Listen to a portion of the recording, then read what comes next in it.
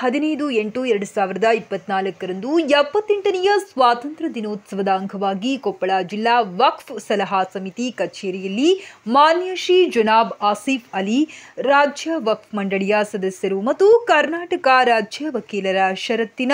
ಸದಸ್ಯರಾದ ಶ್ರೀ ಆಸಿಫ್ ಅಲಿ ಇವರು ಮುಖ್ಯ ಅತಿಥಿಗಳಾಗಿ ಪಾಲ್ಗೊಂಡು ಧ್ವಜಾರೋಹಣ ನೆರವೇರಿಸಿದರು. ಈ ಸಂದರ್ಭದಲ್ಲಿ ಕೊಪ್ಪಳ ಜಿಲ್ಲಾ ವಕ್ಫ್ ಸಲಹಾ ಸಮಿತಿ ಅಧ್ಯಕ್ಷರಾದ ಶ್ರೀ ಪೀರಾ ಹುಸೇನ್ ಹೊಸಹಳ್ಳಿ ನ್ಯಾಯವಾದಿಗಳು ಮತ್ತು ಜಿಲ್ಲಾ ಅಲ್ಪಸಂಖ್ಯಾತ ಕಲ್ಯಾಣ ಇಲಾಖೆ ಜಿಲ್ಲಾಧಿಕಾರಿಗಳಾದ ಶ್ರೀಯುತ ಸುರೇಶ್ ಕೊಕ್ರೆ ಮತ್ತು ಕುಮಾರಿ Perina Xavier, district manager KMDC Koppal